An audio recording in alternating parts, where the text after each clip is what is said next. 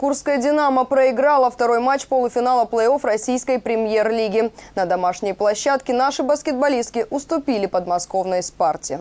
64-66. Всего два очка не хватило курянкам до овертайма и возможного реванша за поражение видным.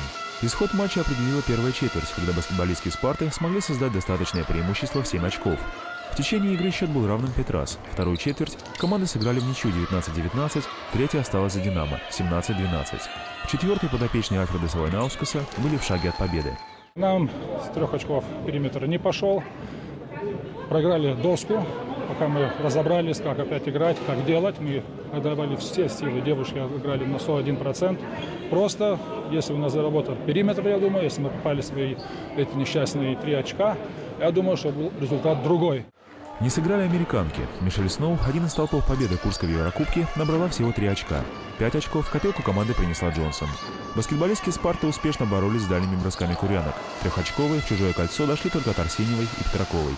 Очень хорошо они реализовывали трехочковые, а у нас изначально бросок не пошел, и это немножко обескураживает, когда не попадаешь не знаю, сразу с игры. Но в третьей четверти пошел бросок, пошла игра, и мы уже поймали надежду, хотели довести до конца, но очень обидно, что не получилось.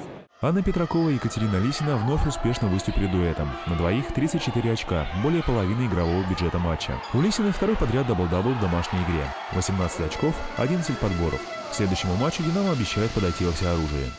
Если мы будем играть э, хорошо, если мы будем играть так же, как в воскресенье, если мы будем играть так же, как сегодня, три четверти, ну, кроме первой, то я думаю, мы выиграем.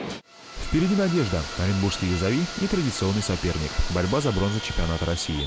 Серия будет идти до трех побед. Первые две встречи пройдут в Курске 23 и 24 апреля. Обращаем внимание, что 23 апреля матч Курского «Динамо» начнется на час позже, в 20.00. Глеб Парфенцев, Максим Леонов, телеканал «Сиим».